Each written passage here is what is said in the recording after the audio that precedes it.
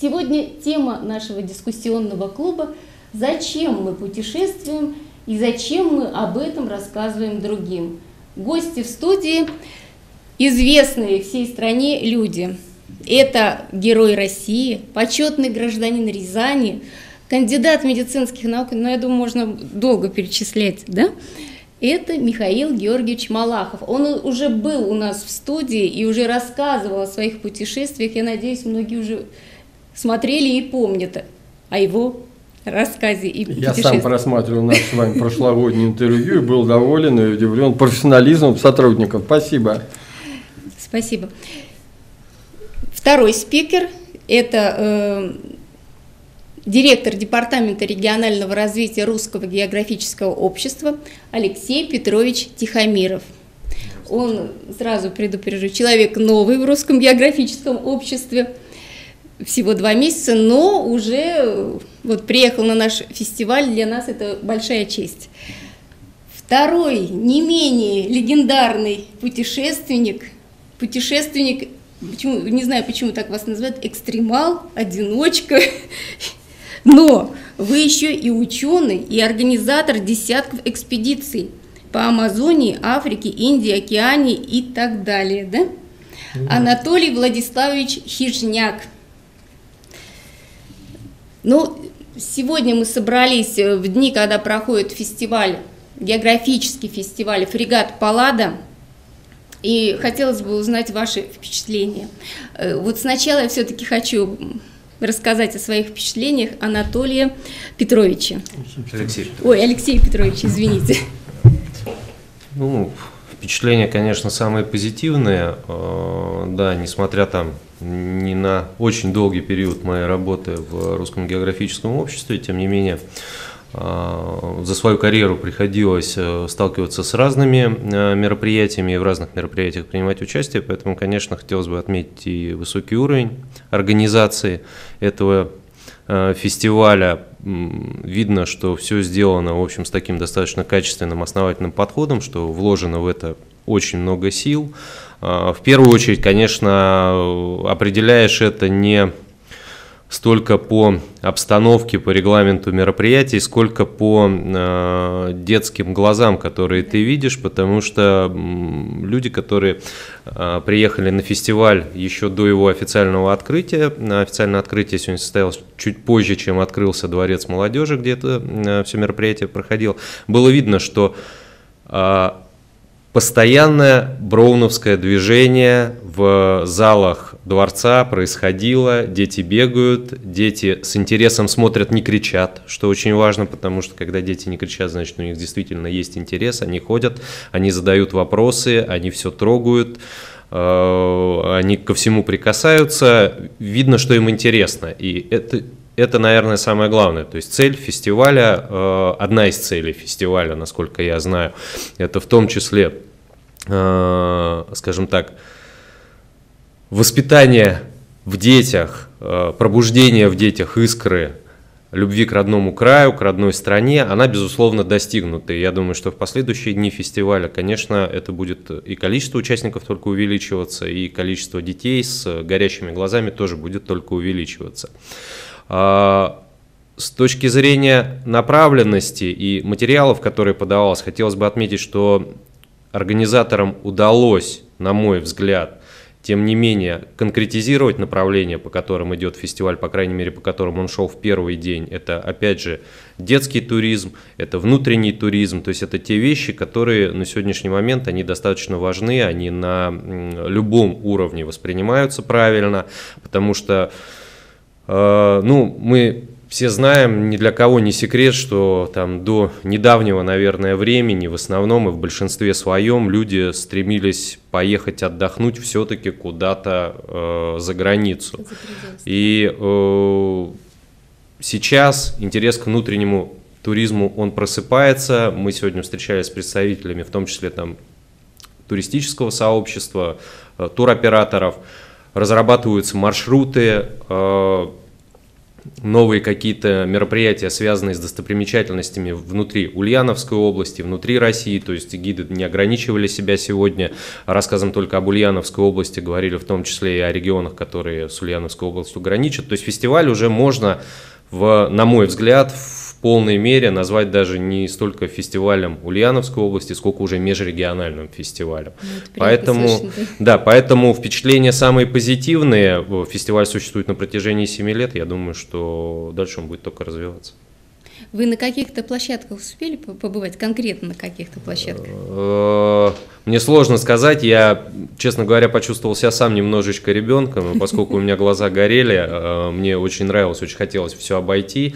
Я могу точно сказать, что я обошел все площадки, которые были, э, ну, как они называются, я не запомнил, к сожалению, ни одной. Но вы можете взять список, и вот я с уверенностью могу сказать, что на всех из этих площадок я был. Спасибо. Э, вот Анатолий Владиславович тоже первый раз э, на фрегат Палладе, да? Да, первый раз. Вот. И какие ваши впечатления? Все-таки первые впечатления, они немножко другие, когда уже человек, вот как э, Михаил Георгиевич, он уже не первый раз на фестивале, уже, наверное, там по-другому уже будет мнение. Ну, я согласен с Алексеем Петровичем, что как бы организация на хорошем уровне.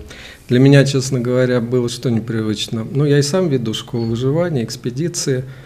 Как вы сказали, действительно, десятки экспедиций в разные там страны, в том числе опасные. Я, разумеется, привык работать ну, с более взрослыми людьми. Студенты, там, взрослые люди – а вот с детьми как-то у меня первый был опыт. Дело в том, что я же кажется, здесь... Я видела со стороны, мне кажется, удался ваш опыт. А вы были на площадках, да? да? Ну, как бы вот э, я попытался ну, сделать такую основу школы выживания. Ну, у меня есть школа выживания для взрослых, где люди как бы ориентирование, и костры, и как выживать в джунглях там, и где-то в северных условиях. Здесь мы ну, не можем весь спектр представить. Ну, хотя бы основные там четыре я сделал направления. И, ну, честно говоря, хоть у меня было трое волонтеров, мы вот четвером не справлялись, действительно. Дети идут, ну, поток большой. Поток, и все, все с такими все глазами. Именно в школу выживания шли сначала. Ну, я думаю, нет, их там много, их же больше двух тысяч, наверное, сегодня пришло. И, ну, что я хочу сказать. Конечно, дети, честно говоря, не подготовлены. Если сравнить наших детей десятилетних и индейских, с которыми я привык общаться, там, грубо говоря, девочка в 10 лет, она все, она уже кормит младших детей, которые два, мальчик в 10 лет ездит на рыбалку, добывает пищу. А здесь, например, мы были, ну, я учил детей делать укол в случае, допустим, укуса змеи, как сыворотку. Ну, мы на ногу накладывали такую вещь, идентичную телу, чтобы они не боялись ну, сделать укол себе или товарищу. И вы знаете, вот все боятся, причем даже взрослые, 15-летние. Одна девочка не шприцом набирала, ну, как бы сыворотку, ну, вместо сыворотки вода была, она другим концом стала запихивать шприц, думала, что да. туда пойдет. То есть, конечно, наши дети, как сказать, не подготовлены. Но, в принципе, вот поэтому я думаю, что такие фестивали и с такими вот, ну, какими-то не только школа выживания, а там была куча площадок, где дети чему-то, чему-то учились, они очень нам нужны. Их надо, понятно, и не только по Ульяновской области, их по всей России надо как-то развивать. Но я думаю, вот русское географическое общество, тем более регионального развития, должно помочь. У меня, кстати, к вам вот сразу такой вопрос. Я э, с 93 -го года в русском географическом обществе, но последние два года членские взносы не платил. Меня не уволят там. Можно вы за меня это словечком да, замолвите? Ну, у нас нет строгих сроков исключение из рядов русского географического общества за неуплату членских взносов. Э, региональное отделение принимает такое решение, насколько я знаю. Да, Вы к какому региональному отделению относитесь? Ну, я к московскому, я в Москве живу. К московскому. Ну, я думаю, что если вы заплатите членские взносы, по-моему, они у нас составляют не такие большие деньги, 300 рублей в год, то ну, мы уж как-то оттянем момент исключения такого уважаемого человека из рядов русского географического общества. Вы останетесь с нами, не надейтесь. Спасибо. Пожалуйста, оставьте. Михаил Георгиевич, вы который раз уже приезжаете к нам? Для нас это вот прям такая честь. И мы так рады всегда вас увидеть. Так ну, интересно вас слушать. Да, я, наверное, все-таки по сравнению с э, Алексеем Петровичем, с Анатолием некоторые сторожилы и фестивали, вообще, так сказать, э, посетители Ульяновской области, э, посещаю своих коллег, обмениваюсь опытом, устраиваю какие-то выставки, лекции, читаю встречи и Могу сказать, что, конечно, мои ощущения не исходят только из того, что я увидел сегодня. Да? Многие вещи сегодня, э, то, что я видел, они э, повторяются, и э, поэтому ощущение-то конечное складывается из комплекса его факторов. Замечательная встреча, вот кроме фестиваля, была сегодня с коллегами, студентами медицинского института, да, так сказать, вспомнил студенческую молодость, занятия туризмом, э, э, да, я очень, конечно, благодарен организаторам, то, что дают возможность вот как раз э, иметь такую обратную связь, рассказывая о аспектах на киноклубе я рассказывал одну тему, медикам рассказывал другую, и мне важно, конечно, вот эта обратная связь для того, чтобы скорректировать собственные планы, увлечения и так далее. Для меня всегда в путешествиях был важен элемент, это, конечно, Э, его э, целевой направленности, не только самоудовлетворение, вот посетил какое-то место, о, класс, не был, увидел, теперь запомнил. Была мечта э, как-то вот оказаться среди кактусов высотой больше человеческого роста. И это, посещая географическое общество Мексики, вдруг так меня туда привезли в это поле, мечта реализовалась, да, но нет, это редчайший случай, сам все-таки другие мотивы движут путешествия, но и э, замечательные, э, так сказать, э, ощущения, я думаю, жизнь была бы не полной, если бы этих э, ощущений от путешествий не было. И поэтому, конечно, то, что э, делает рус, э, этот, э, прежде всего по инициативе э, Ульяновского отделения Русского географического общества, это, конечно, полнейшее вот, выполнение, э, супер выполнение миссии в целом русского географического общества, достучаться до каждого с точки зрения э, любви, отношения к природе, активизации собственных ресурсов, вот это все дело познать и поделиться с другими. Я думаю, что вообще Ульяновский здесь так вот без всякой скромности лидер э, в данном направлении. Вот Алексей Петрович, я-то давно это слежу, и многих коллег лично знаю, Алексей Петрович только стал на стезю, э, и это, да, и очень здорово, что он вот одно из первых его э, визитов, я не ошибаюсь, один из первых, наверное, да, в регион, именно вот сюда, туда, э, где есть какие-то талоны, которые можно штамповать дальше том или ином виде э, в других региональных отделениях. Э, хотя сразу говорю, то, что мы видим, это супер класс и организация. Да? Я просто отдаю дань э, организаторам в очередной раз их мастерству. Это касается как идеологической составляющей, ну, совершенно разнообразной площадки познавательная, э, информационная, обучающая, дискуссион, дискуссионная э, для взрослых, для более э, старших. То есть, ну, конечно, замечательная структура с умом сделанная, некоторые повторяется, но этот разнообразие. Для меня, например, было удивление залезть в юрту новый появился юрта, да, я думаю, если Анатолий порекомендует там шалашка на ветвях э, где-нибудь в дебрях Амазонии, и то, что он там подсмотрел, да, это будет еще один аспект по опыту Анатолия Хижника. Вообще, э, конечно, это э, класс. В Рязани, например, мечтаю как раз вот создан музей путешественников, и могу с этим, с некоторой гордостью сказать, в столице, музейной столице России, а Ульяновск, считаю, музейной столицей России, очевидно, да, вот, э, то э, ну, вот, э, мечтаю, конечно, сделать, ну, не вигвам, а больше по северу путешествия, а положим те же самые полуземлянки, в которых жили эскимосы или алиуты, а потом и русские промышленники и исследователи Русской Америки, вот. Э, это сейчас я вижу новые элементы появляются здесь э, в Ульяновске. Но с другой стороны, я вижу, и вот сегодня не случайно в своем обращении э, сделал, так сказать, посыл органам власти, в первую очередь, конечно, областным, поскольку привлекать тысячи людей, конечно, видно уже это есть результат, далеко выходящий за рамки, может быть, первоначальных целей и задач. Конечно, нужна помощь инициаторам, добровольцам из э, областного отделения Русского географического общества. В этом плане, я считаю, Алексей Петрович со мной согласится, что э, этот э, фестиваль вышел на такой уровень, когда он действительно способен по своему охватить гораздо большее количество э, людей, если чуть-чуть власти с точки зрения организации э, поможет, э, может быть, расширять и площадки, делать их э, наружными и так далее. Но мне кажется, вот э, э, сегодня была брошена фраза «межрегиональный». Да, Ульяновск как раз и тянет на такую вот межрегиональную уже площадку. Признаюсь, я даже при наличии определенного организационного опыта и возможности открывать многие двери у себя в регионе, извините за нескромность, да, его не могу сказать, чтобы вот я готов организовать такого масштаба мероприятия на данный момент. Да.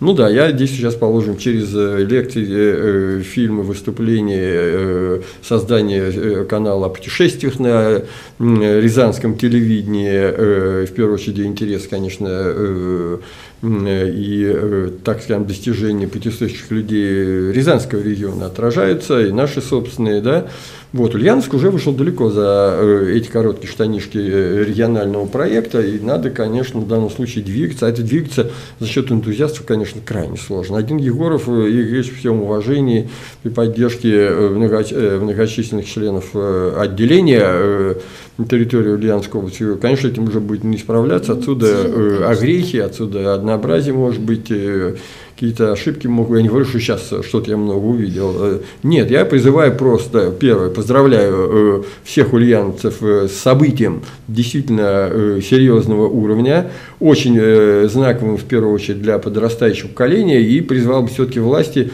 активнее внедриться в организацию в будущем я так понимаю, восьмого э, да, фестиваля «Фрегат Паллада», это уже визитная карточка региона, которую надо подкреплять не только э, энергией отдельных энтузиастов, волонтеров и э, так далее.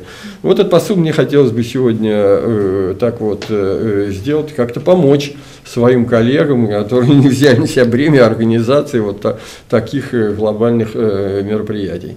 Спасибо. Если позволите, я пару слов тоже добавлю. Поддерживаю, да, слова о том, что необходимо развивать всю историю, связанную с фестивалем. Да, я неспроста сегодня сказал, что действительно уже его сейчас можно считать межрегиональным. Но хотелось бы, конечно, мне, как э, выходцу там, из органов исполнительной власти, э, я смотрю на организацию процесса еще в том числе понимая, какие усилия на самом деле региональные органы власти приложили для того, чтобы этот фестиваль организовать, сказать, скажем так сказать, пару слов ну, наверное, не в защиту, потому что Михаил Георгиевич ни в коем случае э, не это самое не, не, не говорил негативно на эту сторону.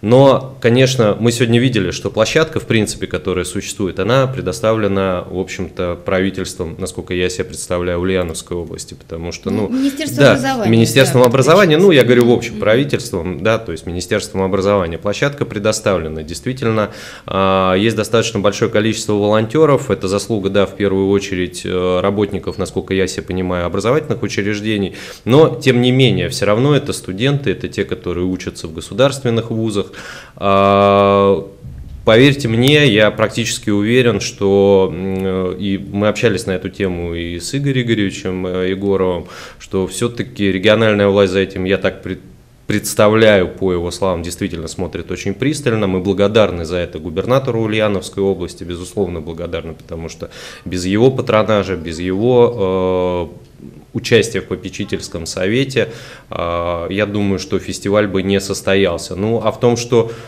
нужно больше. Ну, мы всегда хотим большего, мы всегда хотим развиваться. И я думаю, что председатель, да, что председатель попечительского совета регионального отделения в Ульяновской области знает об этом, и думает об этом, практически уверен.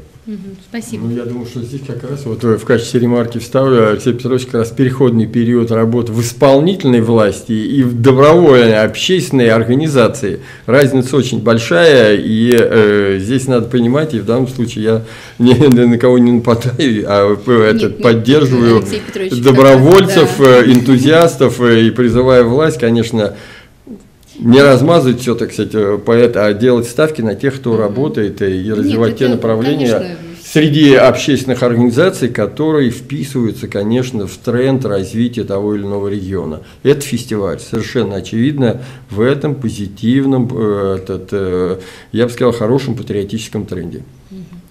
Спасибо. Ну вот все-таки хотелось перейти к, тему, к теме путешествий. Фестиваль собирает путешественников – И не только наших региональных путешественников, но вот э, и из Москвы, и из Перу. Я так понимаю, Анатолий Владиславович сейчас больше в Перу даже живет, чем в Москве, да? Ну, у меня были моменты, когда я большую часть там жил, да. И вот э, вы рассказываете детям о путешествиях. Цель вообще путешествий. Что, для чего вы ходите в путешествие, да, э, и для чего вы рассказываете об этом детям? Михаил Георгиевич, вы уже стали говорить, э, что цель у вас не только посмотреть там, да, на красивые места, а цель у вас прежде всего исследования, так понимаю, да? Медицинские исследования.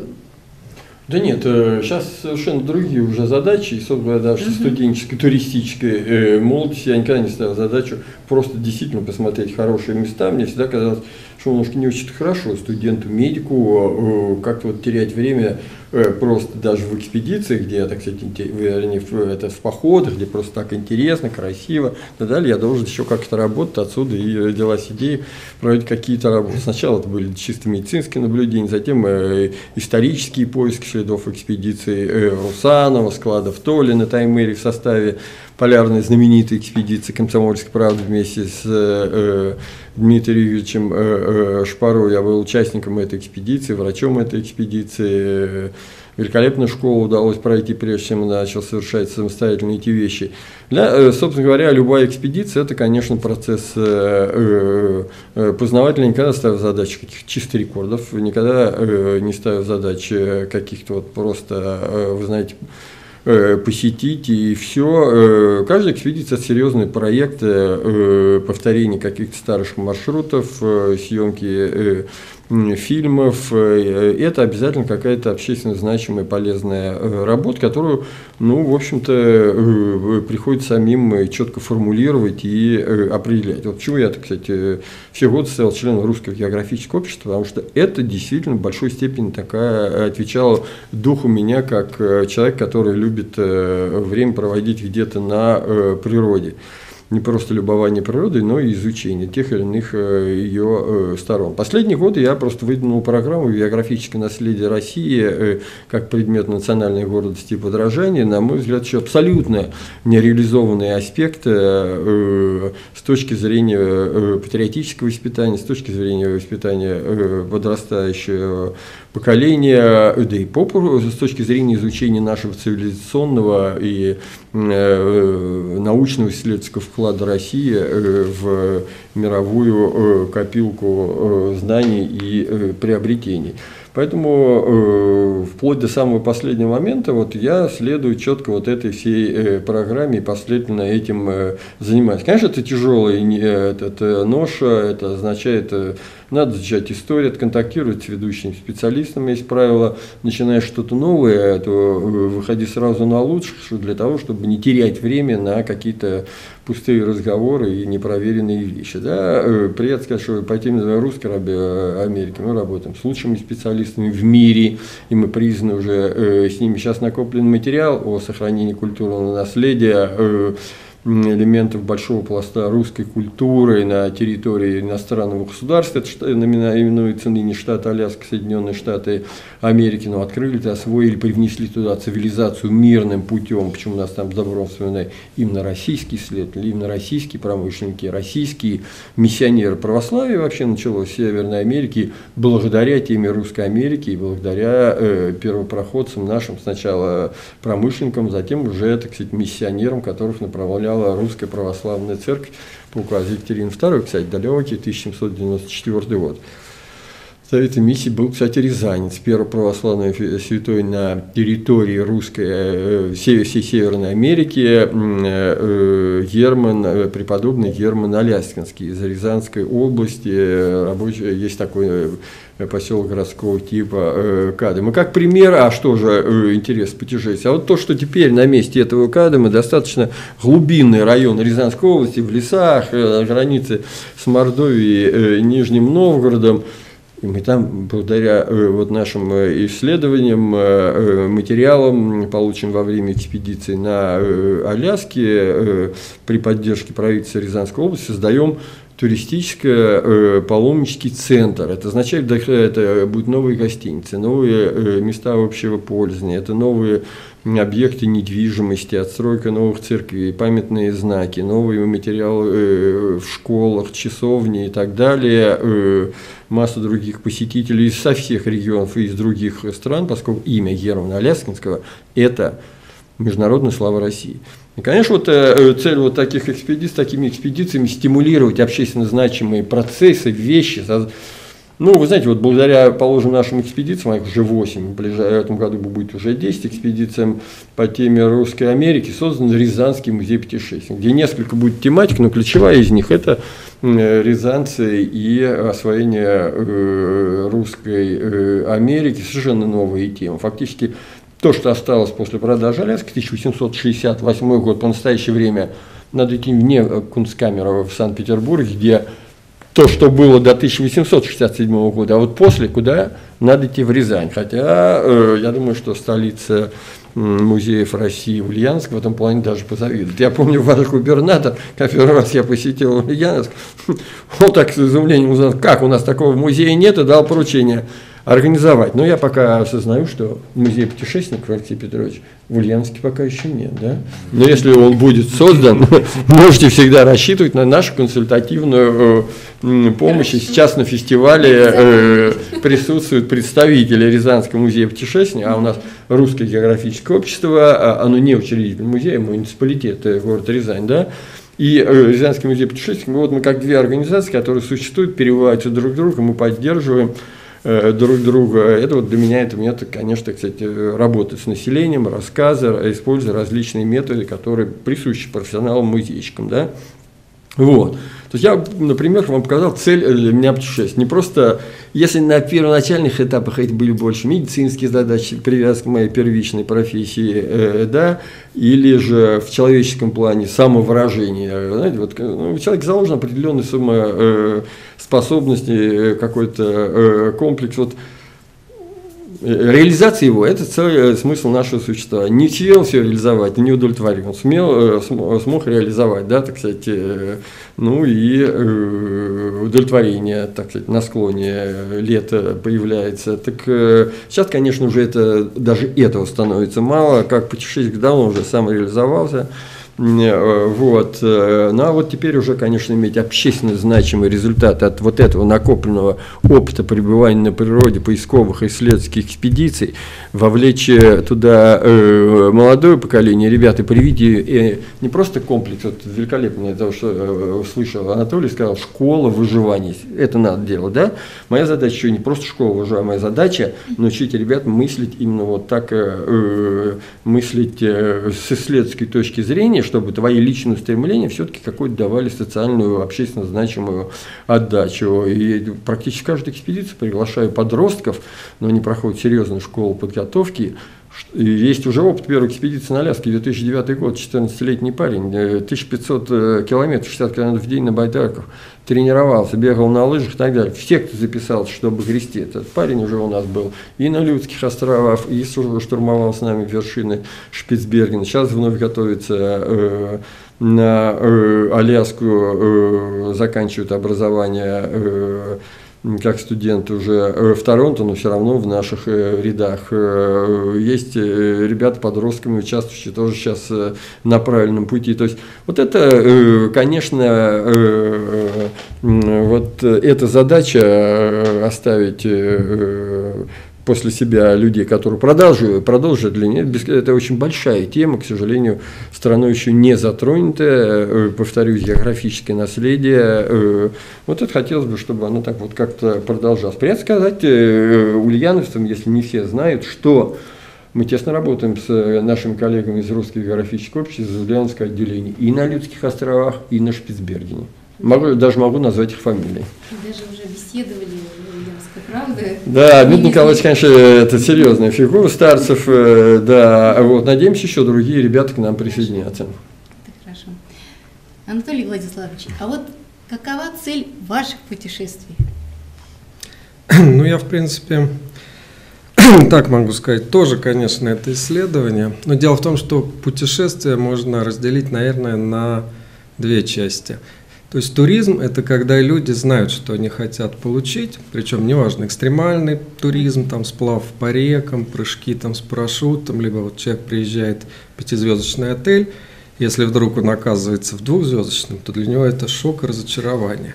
Если там люди идут на байдарках, и у них река должна быть пятой категории сложности, а то вдруг бац, и она второе, второй, это разочарование, либо наоборот, они готовы к второй, а тут пятая. Ну, они все там гибнут, и им тоже не нравится умирать.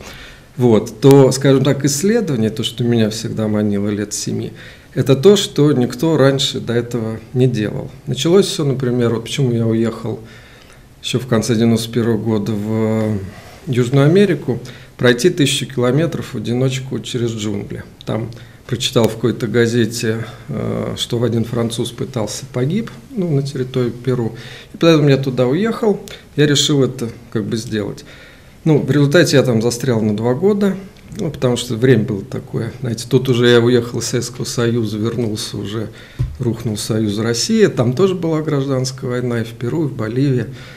В общем, чем я там только не занимался, и золото мыл, и в индейских племенах жил, ну, тысячи километров я прошел.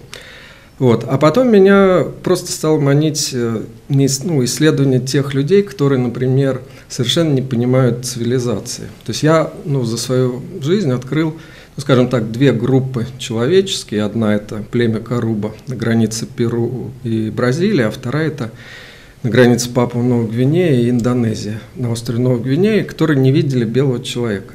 То есть это, конечно, ну просто как машина времени. Попадаешь к людям, которые, ну, менталитетом примерно вот как креманьонцы, которые были около 20 тысяч лет назад. Вот. Понятно, там нет никаких даже товарно-обменных отношений. Это довольно агрессивное племя, они делают на набеги на другие более цивилизованные племена, отнимают. А так охотятся, они не знают, разумеется, ни этого земледелия никакого, рыболовства тоже не развито, потому что их загнали в самые такие дальние районы. Это район Вали до Живари, он вообще закрыт для всех. Мы, конечно, честно говоря, туда нелегально проникли, но по-другому никак нельзя было. И между крупными реками они живут только в лесу.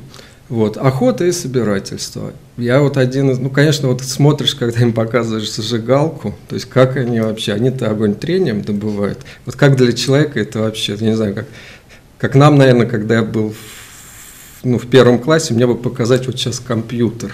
Да, не, не это, как мы играли, вот, вот со всеми танками настоящие, очень так же для них.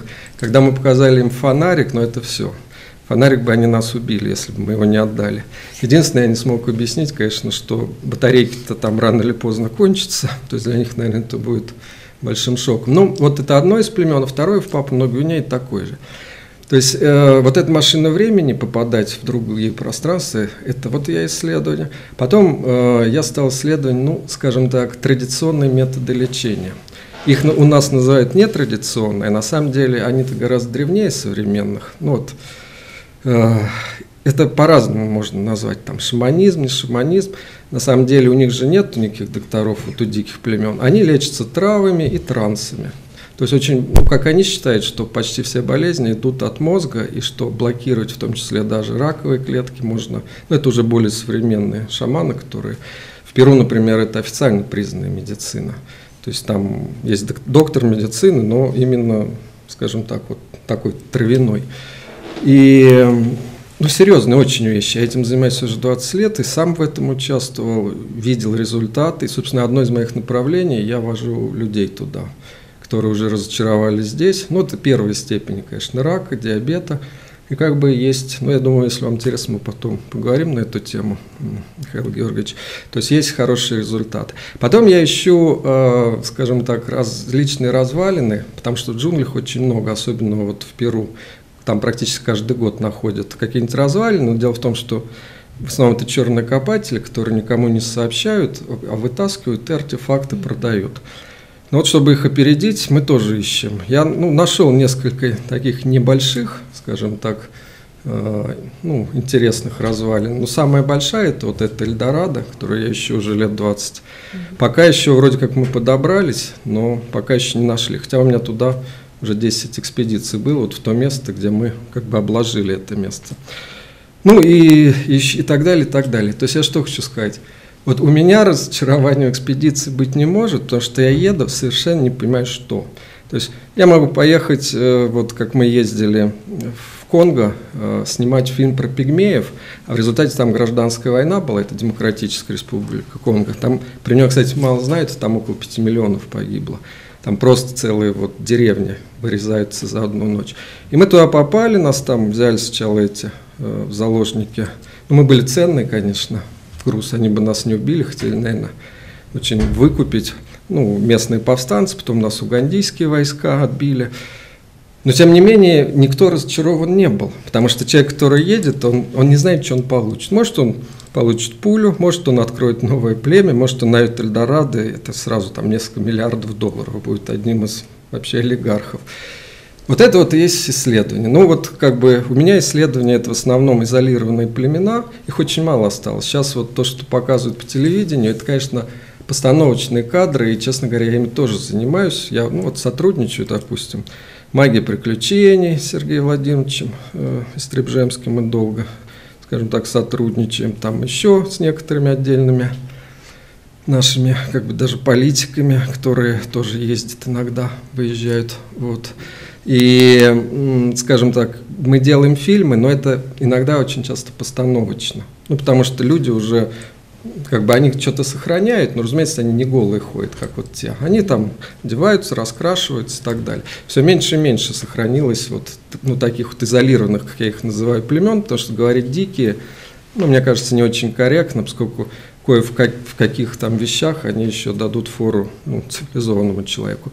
И вот, значит, изолированные племена, развалины, и вот я все-таки хочу понять, как можно вылечивать людей. И ну, я как бы даже вот знаю уже ряд людей, которые готовы даже сюда бы приехать. Это одна из тоже моих э, задумок здесь создать центр амазонской медицины этих я вывезу лекарей, ну, оттуда целителей. В Москве, например, такой уже есть один центр, который я помогал создать. Можно и, можно и здесь. Вот, потом школа выживания, соответственно. Желательно, конечно, это вот как сетевой маркетинг, чтобы это вообще вышло на федеральный уровень. Ну, в каждом хотя бы областном центре, чтобы вот была. Тем более где-то они есть. В Москве, например, есть уже. Здесь как бы вот в каком-то начатке. Ну, очень я долго могу говорить, так да. что я все, передаю ну, слово. А я хотела уточнить, то, то есть вы за то, чтобы сохранить такие изолированные племена или нет? Значит, смотрите как. Моя задача это узнать, Или пока их. Них тоже опыт. Да. Дело в том, что все эти племена после контакта с цивилизацией они исчезают. Допустим, вот этих же корубы их сейчас почти нет, потому что они там сталкиваются, туда проникают на их территории наркомафия, там трафик mm-hmm. идет, и золотоискатели их просто убивают. То есть вот было племя, у него было куча вообще таких знаний, которые мы уже никогда не узнаем. И они просто погибли, все, их нет, таких десятки.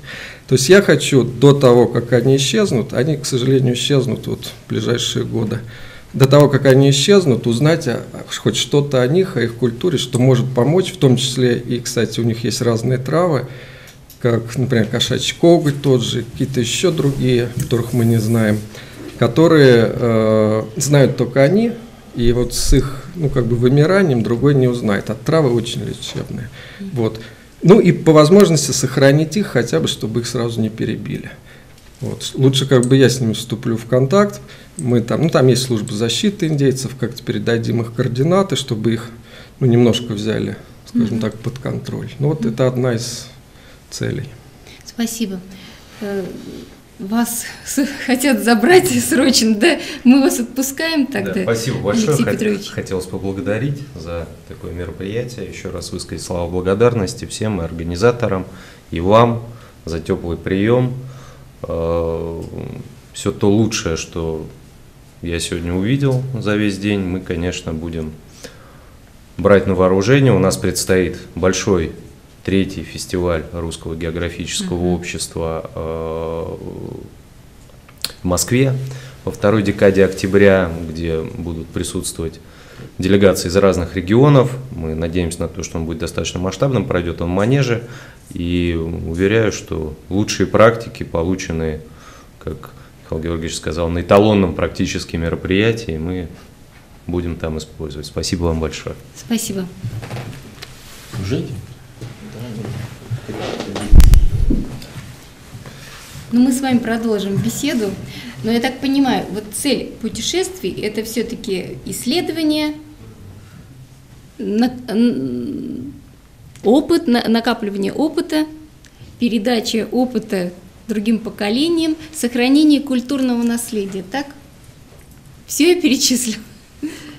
Нет, ну, вы знаете, когда мы говорим о путешествии, э, если мы говорим в широком плане, то почему не просто пребывание, э, хорошее времяпровождение на э, природе, тоже имеет право на существование. Но мы говорим уже о личностных достаточно вещах, и вот я первый раз слышу рассуждения Анатолия, конечно, смысл его экспедиций достаточно рискованных и действительно таких вот пионерских даже в наше время, когда что-либо открытие, какие-то белые пятна, крайне сложно, да, Поэтому э, давайте говорить все-таки о путешествиях э, на фестивале. Э, ну вот то, что мы с Анатолием пропагандируем, это, конечно, ну вы знаете, это надо иметь очень серьезный опыт первичных, так сказать, вот первичного просто пребывания на природе и очень безопасного. Для того, чтобы проводить какую-то работу, прежде всего надо, конечно, уметь там находиться. Ты ничего не можешь, когда попадаешь в враждебную агрессивную среду, ты ни о чем не можешь думать, прежде всего, как о самосохранении себя как биологический субъект эффект, это рефлекс вот, э, любого э, живого э, организма. Да? А люди, которые это преодолевают, накапливают определенный опыт, конечно, они могут заниматься дополнительной работой как таковой, о чем вот мы сейчас и толкуем с Анатолием. Правда, каждый с своих сторон, и значит, просто дополняем и говорим о том, что, конечно, для нас эта экспедиция – это продолжение познания, великолепный пример. Я впервые слышу, никак не мог предположить. Большое количество племен, действительно не имевших контакт с цивилизацией, не знаю, где их отыскать. Тоже любопытно посмотрел бы, э, как Михлов ну, Маклай тут, э, да, на все эти вещи. Э, да, и я даже слушаю Анатолия, вот так я поймал на мысли, вот есть опыт аналогичный, да, Миклух Маклай, замечательно уважаемый, на мой взгляд, еще не до конца раскрытый человек и, может быть, преподнесенный этот э, советский существующий историографии не так, как э, это было на самом деле, по крайней мере, есть у меня какие-то вот сомнения в этом плане, да, вот его опыт, когда он эти вещи рассказывает, то, что говорит сейчас Анатолий, я провожу какие-то параллели, и ну, у Анатолия теперь уже есть э, возможность корректировать свое будущее поведение при встрече с будущими неоткрытыми никем еще племенами, э, каковы последствия э, для, прежде всего, вот этих, конечно, да. людей, первые контакты с белым человеком. Но вопрос очень классный, гуманный, конечно, вопрос, перспектива для этих людей, она не теряется. Но, кроме они могут окончательно заблудиться и исчезнуть. Да. А, э, мудрость, конечно, заключается в том, чтобы сохранить вот этот э, уникальный опыт, э, отражающий определенную это, ступень развития в целом человеческое, человечества, конечно, вот как можно больше в неизменном виде такая, вы знаете, вот э, скользкая позиция и облегчить жизнь людям за счет технологий, в то же время э, грозит потерять э, тот их уникальный опыт, вот как-то его надо сохранить. Интересная миссия Анатолия, э, буду теперь более внимательно наблюдать, смотреть. Меня поразил экспонат, кстати, перебью немножечко. На выставке вашей, как раз на фестивале «Фрегат Паллада», новый экспонат «Приворотное зелье». Это mm. настоящий приворотный зелье. Настоящее, поэтому оно запаяно. И, а, оно запаяно, ну, оно в бутылке, ага. чтобы не открыть. Это не то, что приворотное, это, ну, этот, как сказать, э, стимулятор. Это стимулятор э, намерения, это, я бы сказал, ну, такое энергетическое, вот ближе даже к восточной медицине, она, ну, как им, иммунно повышающая, угу. оно стимулирует желание. Оно может это как одно, иногда его используют как приворотное или наоборот отворотное, mm-hmm. иногда для здоровья. То есть она реально помогает. Во многом это, конечно, ну, так называемое плацебо.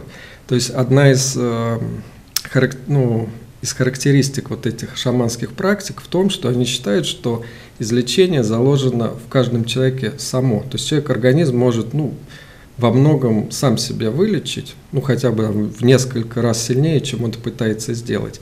Но как бы есть такой тумблер. То есть их задача вот этот тумблер переключить, mm-hmm. и организм начинает, ну как бы сам себя восстанавливать. Это, ну это я думаю, в медицине известно. То есть когда вот есть такой стресс, адреналин, я вот на охоте там проваливался, например, под лед, был минус 25, весь замерзал, от охотничьей избушки там было короче, я часа три шел и, и не чихнул. Там, я был в таких местах, где вот, ну, скажем, там же очень много, особенно в Африке. Ну, не чума, но и холеры, вот все эти бациллы. И организм как-то, вот иммунитет, что ли, он начинает вырабатывать сам.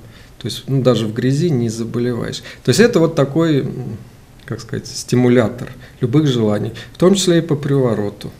Ну, тут немножко магии, немножко реальных, скажем, там, там много всяких трав, там много лекарственных препаратов. Там, там э, кусочек змеи. есть змея, да, ну змея у них как это не простая змея, священная бушмейстер, там с ней особо как бы связано, ну как и в китайской медицине. Что-то может быть это ну выдумки, а что-то это реально, как бы там делали же исследования медицинские, что в него входит, и оно действительно ну, помогает. Ну, его, конечно, по чуть-чуть, прям по капле применяет. Анатолий Владиславович, вот вы то там живете, то здесь, где вам все-таки более комфортно чувствуете? Ну, скажем так, вот два места. Амазония и Россия. Ну, Россия, скажем так, все-таки не Москва, крупный город. Ну, мне приходится долго проводить в Москве, мне он не очень нравится. Я дело в том, что вот лет, наверное, 15, так, а то и больше, 20 не проводил время в своем вот родном городе Димитровграде. Тут так надолго я сел. В принципе, мне вполне здесь комфортно. Оставайтесь. Ну, понимаете, как бы большие экспедиции, вот их невозможно пока отсюда начать. То есть отсюда же даже не улетишь там в Да, Рио-де-Жанейро. к Все равно в Москву, в Москве основные потоки, центры, и через Москву уже туда. Ну а так Россия и Амазония. Но я сам еще вот не был, например, на Востоке. У меня мечта, кстати, на Аляску, как раз по русским староверам пройтись. Я в Боливии нашел в 91 году русских староверов. Ну, про них сейчас уже мы и снимали А это волна, передачи. это была миграция после э, Октябрьской революции, они какое-то время там осели, Да. а потом эти староверы переселились, кстати, я посещал староверов, э, контактировал в разных местах, но компактное место проживания на Кинайском полуострове, там есть деревни, Николаевка называется, знаете, такие вот интересные, да, у них говор своеобразный сохранился, вот этот такой э, менталитет, но и до сих пор вот это настороженное отношение к представителям э, других конфессий совершенно точно никуда не делось, оно там э, присутствует. Поэтому, конечно, Анатолий, подскажем, расскажем, э, э, где э, что, что-то интересное. Темы специальных наших исследований как-то это не было, но то, что они присутствуют, но не как, так скажем, те самые потомки людей, которые осваив- открывали осваивали Русскую Америку, другими словами, нынешнюю Аляску, нет. Это другая немножко э, история, но э, интересен сам по себе факт, конечно, их культурных обычаев, традиций. Они как раз приехали в более поздний период на территорию штата Аляска. В 40-50-е годы американское правительство, об этом сейчас, кстати, официально сожалеет, проводил достаточно агрессивную линию по э, не так скажем, не поддерживать э, и русские традиции, и традиции местного населения, э, это то есть эскимосов, э, алиутов, э, индейцев, э, как-то вот э, не приветствовал все это. Это, конечно, пагубно сказалось. Вот немногих носителей русского языка и национальных э, э, присущих коренным, реальным коренным народам э, э, штата Аляска э, традиции. Э, Теперь это как-то время э, упущено, многие вещи забыты. Но удивительная, вот одна из э, тем моих будущих, может быть, э, изучений, это Поскольку во времена Царской империи до 1867 года часть народа с Илиутских островов, с полуострова Ролятку ввозилась на Курилы, на Командоры, на Камчатку для э, э, начала каких-либо там промысловых, например, бизнесов дел. Не было их никогда на Командоры. Да? Вот то же самое знаменитое селение Никольское на, Командор, на острове э, Беринга, это вот Командорские острова. Ну, там выходцы э, э, острова Атка, который мы посещали, и там название-то э, вот это Никольский появилось из-за того, что была деревня Никольская э, на острове Атка. Э, знаете, вот, значит, и некоторые вещи, которые сохранились было этот, э, на территории э, э, э, российской ныне, но э, утерянные э, и забытого вот, ввиду не очень разумной официальной политики властей да, на тех же самых Алиутских островах, Вот смотрите, вот смотрите, смысл всех этих вещей, вот смысл народной дипломатии способствовать, конечно, вот возврату потерянных на одной территории, но сохранившись на другой территории культурных традиций, национальных каких-то обрядов и так далее. Я считаю, это очень такая благородная человеческая миссия, по крайней мере, хотел сказать свое слово и свою лепту в это дело внести. Спасибо, что вы пришли. Еще предстоит несколько дней работы на фестивале. Я думаю, сейчас вы друг с другом пообщаетесь, Мы да, договоритесь. Да. да, уже пару совместных, может, экспедиций. Я уже да, смотрю, тут несколько проектов так уже вырисовывается. Спасибо большое. И мы ждем вас на следующем фестивале. И вас тоже. Михаил Георгиевич уже вот ты понял, что надо каждый год ездить к нам обязательно просто. Ну, надо коллег поддерживать, да, как-то э, вот радовать новыми проектами, новыми экспедициями. Каждый раз все-таки мы приезжаем с новыми результатами, да, и стараемся ваших ребят привлекать и такой вот пул регионов, завязанных на тему совместного географического наследия России, э, пытаемся э, сделать. Ну а всем, кто нас смотрел, э, приглашаем на совершенно уникальное мероприятие Ульяновский фестиваль «Фрегат Паллада». Спасибо. Спасибо вам. До свидания. Ну, значит, не последний раз. Да.